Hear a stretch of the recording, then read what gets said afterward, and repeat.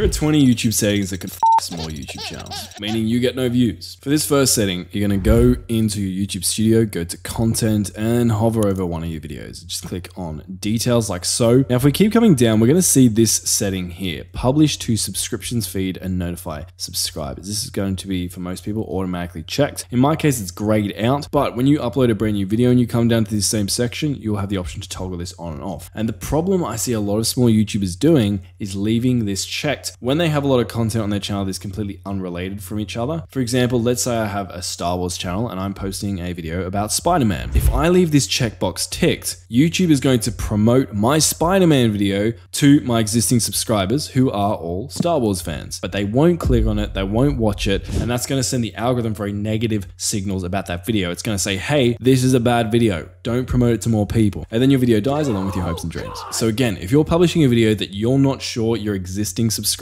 no matter how small your channel is, are going to want to click on and watch, uncheck this button. Yes, the video will grow much slower in the beginning, but it's not going to get the wrong data through YouTube promoting your video to your past subscribers who aren't going to be interested in that content. Next thing I want to show you also on this same video page, just below the playlist section, and it's called the COPPA section. Basically, you need to accurately designate whether or not your video is made for kids or not. And when we say made for kids, just because kids would find the video interesting doesn't mean it's made for them. In this case, kids is defined as people under the age of 13. And I think we can safely say that kids would be interested in watching Marvel movies. That doesn't necessarily mean, though, that Marvel movies are specifically designed for people under the ages of 13. There just happens to be some audience overlap. On the other hand, Peppa Pig, probably appealing to many people under the age of 13. However, most older audiences are not going to be interested at all. And so it'd be safe to say that Peppa Pig is designed for kids. Hope that makes sense. Now, why this is important is one, if you misdesignate this, technically you could cop a very expensive fine, although I haven't actually seen it happen. And the other thing to be aware of here is that if you check yes, this video is made for kids, the video is going to have very limited options. There's going to be no comments, you're not going to be able to make money from the video, and a whole bunch of other annoying things. A little bit technical as well, but really important to get this one right. The next setting, we're going to scroll a little bit down from where we just were, still on the video page, and we're going to come to allow automatic chapters and key moments. Chapters are when you see the video play bar on YouTube broken up into segments with a title for each segment. Now you can create chapters manually, like I'll briefly show you how to do in a second, or you can allow YouTube to automatically chapter your videos. The problem with this, YouTube's AI is still not very good. It can add really dodgy chapters to your videos that are very confusing or that just completely spoil and give away your entire video. And so unless you're like an education channel and you think that chapters are essential to your video, but you're too lazy to create them yourself and you're willing to risk it, just turn this one off. If you're gonna add chapters to your video, what I'd recommend instead is that you add them manually. Now you can do this anywhere in your video description, but what you're gonna do is start off by typing zero colon zero zero and then title your first chapter. So we're gonna be really original and do like intro. Then what we're gonna do is we're going to add the timestamp of the end of our intro chapter. So let's say our intro ends at 15 seconds. So we're gonna go zero, 15, and then we're gonna type the name of our next chapter. Let's say like story. Now let's say the story component of our video ends at like three minutes. So we're gonna go three colon zero zero, and then we'll type the name of our next chapter. It might be something like that. And you just keep doing this throughout your entire video until your whole video is timestamped out in this format, and your video will then show up with chapters. Next thing we're gonna do, we're gonna come down again just below the cursed automatic chapters box, and we're gonna look at the featured places box. This is basically going to give YouTube permission to dox you, which you obviously don't want. You don't want YouTube telling your viewers exactly where you are in your videos. So we're just gonna turn that one off so that we can not get stalked by our viewers. Now, automatic concepts, I would probably turn this one off as well because again, you're relying on YouTube's AI to know exactly what your automatic are. It is an experiment at this point as well, so turn it off just to be safe. If there's something really that confusing, then you should probably clarify it in your actual video. Now what we're gonna do, we're gonna keep scrolling down and we're gonna come down to this section, licensing and distribution. Now this is gonna default to the standard YouTube license, which doesn't kill your videos, but it makes it more difficult for other people to reuse your content. My controversial opinion is anyone reusing your content is free marketing for your videos, and if their content happens to do way better than your video, then it's a great case study for you to learn from. If they reuse your video and it gets like 10 times the amount of views as you, you can look at that and be like, hey, what did they do that made them successful and how can I do that but better in my next upcoming videos? So it's win-win either way. So what I would do is click on here and change this to Creative Commons Attribution, which is going to give other creators permission to reuse your content in their videos. This next one, beginners do this all the time and it really bugs me and it hurts their channels. When you start off a channel, if you have no content, obviously your channel is going to have no content, but when you start creating content, your channel homepage, when you go to it, is going to look something like this. Now, this is bad. It means you're going to get a lot less views than you probably could be, and so we're going to fix that. On your channel, you can find this through YouTube Studio as well, but you can just come to here and customize channel, and it's going to take us to this page. Basically, if we come down here, we can see featured sections. This is what's going to allow us to do that cool thing that a lot of big channels do that makes their channel homepage look full and vibrant and have lots of videos on it, meaning that you potentially have more opportunities to get more views. What we can see is these big channels have multiple sections of content on their homepage. And to get something that looks like that, what you're going to do is hit on add section. And then what you can do is select videos, popular videos, short videos, or you can even feature things like playlists or past live streams. Now, another thing that can hurt your channel a lot, if you're not predominantly a YouTube Shorts channel, is YouTube is really trying to push Shorts right now because TikTok. And so by default, YouTube is going to have a Shorts featured section at the top of your channel homepage. That means that if you have shorts and long form videos on your channel, the first row of content people are going to see when they land on your channel is a list of your YouTube shorts. Long story short, uh, no pun intended, what you want people to be seeing most of the time, again, unless you're a dedicated YouTube shorts channel, is your long form videos. It's going to get the most watch time. It's going to give you the opportunity to make a more in-depth connection with your audience. And so what we're going to do is either if you have lots of different featured sections, you can move this shorts videos thing down to the bottom by clicking and dragging. So it's only going to be found by people who don't find anything satisfying atop of your channel page and are just scrolling down, hopefully catch a few of them. Or if you don't have enough content to have a lot of featured sections on your channel, I would say just click on these three dots and just remove this. Then come up here and hit publish and you're done. Now, speaking of small YouTube channels, another essential setting is found in your YouTube studio also. So if you're in your YouTube studio, you're going to want to come down to settings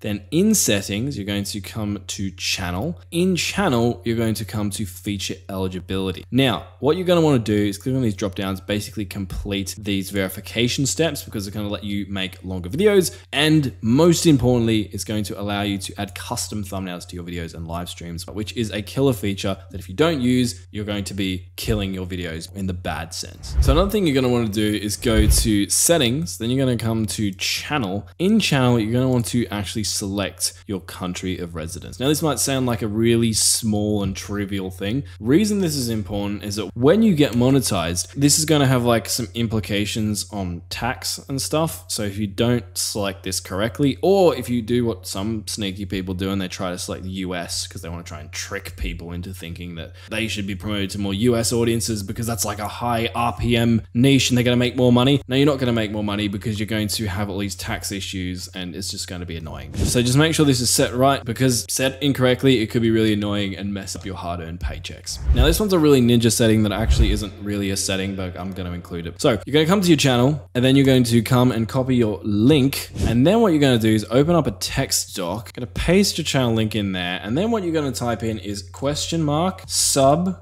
underscore confirmation equals one. Now, when someone clicks this link, they're going to be redirected back to your channel. And if they're on desktop, they are going to be presented with a pop-up that's going to prompt them to subscribe to your YouTube channels. So you can use this link if you have related social media, or you can literally just use it in like the descriptions of your videos, in the about section or bio of your channel, which we'll talk more about later. And just having this link in more places can actually surprisingly increase your subscriber count. I did a video on this and I broke down the math. In a perfect world scenario, you can actually be getting 67% more subscribers just using this link and strategically placing it around your channel. I might leave a link to that video at the end if you want more info on how to do that. Okay, this next one. You're going to come to your YouTube studio. You're going to come down, go to customization. Then we're going to come to branding. In branding, you're going to be able to upload a custom channel banner, profile picture. Most of you probably already done that. The thing that a bunch of small YouTubers haven't done yet is to upload a video watermark down here. Now what you want to do is grab something that looks like this. It should have some sort of subscribe call to action on it. Anyway, you're going to hit done on that. And then what you're going to do, another mistake people do is they just leave it on the default settings. We're not going to do that. We're going to come down to entire video. What that's going to do is add a little watermark like this in the bottom right hand side of our video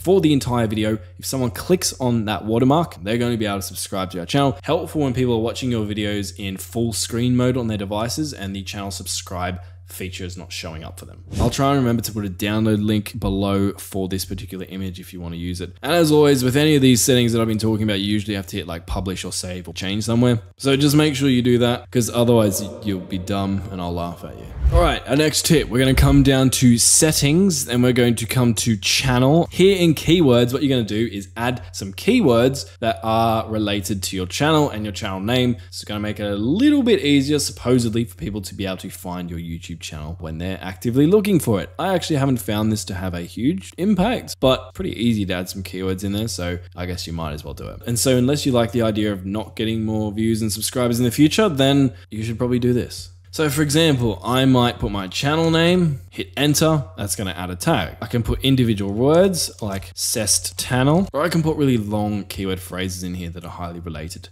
to said channel. Now, the next thing I want you to do, we're going to come back to customization and we're going to go to basic info, not branding. You didn't see that. And in your description, you're going to insert a description. Now, that might seem like it doesn't matter very much, but it does nowadays because with a recent YouTube update, the first line of your description actually shows up on your channel homepage when people visit it. So if you do what a lot of these small YouTubers do, where it's like, hey guys, welcome back to my channel. On this channel, cut out, it's truncated, viewers can't see anything. You can want to use that space wisely. You could potentially be promoting your sub underscore confirmation link we talked about earlier to maybe get more subscribers, or you want to say something that makes people like you and reassures your viewers or your ideal viewers that they're in the right place. So if you have a Minecraft Let's Play channel, you could be like, here you'll find the best Minecraft Let's Plays on the internet, which is really cringy and boring and you shouldn't do that. You, you shouldn't be creating a Minecraft Let's Play channel in the first place. Let's just establish that because unless you hate the idea of getting views, it's not a good idea. But you get my point. Use this space to your advantage to actually encourage more results. The next setting we're going to do, we're going to come back down to settings and we're going to come down to uploading defaults and then come down to visibility. Now here are some cool time saving settings where you can input a default title, default description template, default tags, etc, etc.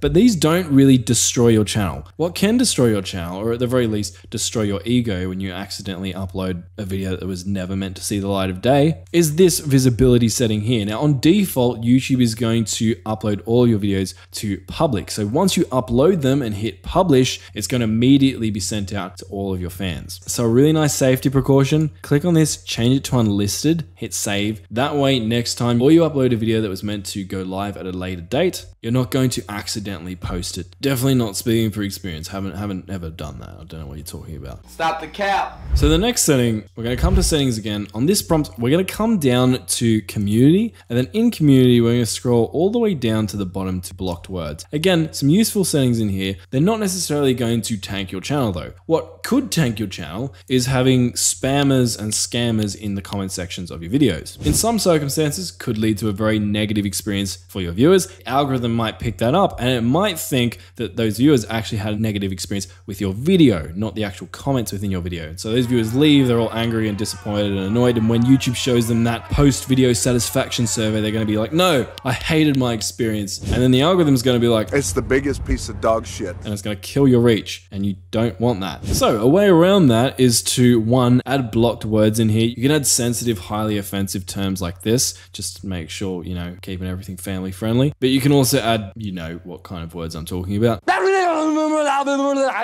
What I find more helpful though is that a lot of scammers and spammers, they target certain niches. And so the wording is often very similar across multiple of their messages. So if you can figure out what that wording is, you can just insert it in here. And then when they leave a comment, it's going to be automatically flagged by YouTube. Another thing, dodgy links, click on this checkbox. People aren't going to be able to post it. So your viewers and you are not going to get scammed. Next thing, we're going to come back to a video settings, go to details and just scroll down. Again, you can find these settings in a video that's already been posted. So you can fix your older videos or you can just edit these as you're uploading a video. The UI is very similar. What you're going to do is come to shorts remixing. Basically, this is going to let other people create shorts using the content from your video. Again, I would allow this personally because it's free marketing for you. Now, the next thing right below that is category. Usually YouTube's just going to select a very broad, often wrong category for your video here. What you're going to do is come in here and actually select the category that your video would most accurately fit into. Especially if you're a smaller channel, this is going to help the algorithm get a little bit more of an idea of what your video is actually about so it can promote it to the right people and the right audiences to begin with. And how it can do that, especially with some categories now. For example, if I was to go gaming here, it's actually going to give you an additional drop down where you can type in the name of your game and select it, and then it's actually going to show up in your description. It's just going to make it easier for YouTube to group videos together, figure out what topics videos are about, and then promote related videos to the right viewers. The next thing I want to talk about is the schedule setting. Now, most of you have probably seen this, so it's nothing new. The problem you probably have is that you're scheduling your videos, if you're scheduling them, at the wrong time. So how you're going to fix that is come to your YouTube studio, go to analytics, and then you're going to come across to audience. Now, if you're a very small channel, you might not have access to this yet, which is unfortunate. But if you do, what you'll see when you scroll down is when your viewers are on YouTube, it's going to show you this little pretty graph. What you're going to do is look for the brightest, pinkiest, most sexiest rectangles and which day has the highest congregation of them. So for me, it looks like it is Sunday and Monday. And if I hover over this beginning one, what I can see is that Sunday at 1 a.m., very many of my viewers are on YouTube. So when I schedule my videos or shorts, I'm gonna wanna schedule them at this time or a little bit before this time, just so I can take as much of an advantage as possible of all of my viewers being online that period of time. Next thing we're gonna do, come to content and then select one of your videos, let's just say this one, and then come down to end screen. Basically, this is going to allow you to add a clickable link to another one of your videos or a playlist at the end of your video, specifically the last 20 seconds. Not having this can be a big no-no for your videos. Basically, the YouTube algorithm loves it not just when viewers watch your videos all the way to the end, but when viewers watch multiple of your videos consecutively in a row. This is called session time. So what you're going to want to do in here, if you haven't already got an end screen, is hit plus on the element thing, select say video. It's going to add a new video element like so. You can drag it around, position it, set the time frame for it, and then hit save. In this particular case, this element is going to promote my most recent upload, but you can also make these elements promote the video that the YouTube algorithm thinks is going to be best for them, or you can select a specific custom video yourself by clicking on this option and then selecting said custom video. And then you just hit save. This next one's to do with YouTube Shorts. Basically, when you upload a YouTube short and you go through the upload process, in the video elements section, there's a new setting where you can add a related video. This is basically going to allow you to select a specific video, let's say this one, and then when you publish your short, viewers of the short are going to be able to see a link that looks like this. If they click on it, they're going to be taken from your short to your full length long form video. And I'd say most small creators probably want to get as much data as possible on their videos. So you're going to want to connect your shorts to your videos so you can get as many additional views as possible. But if you've applied all these settings and you're still not getting any views, you're probably going to want to watch the video I'll leave on screen. It's going to give you an in-depth step-by-step breakdown of a few pretty cool strategies that can significantly increase your views. I'll see you there.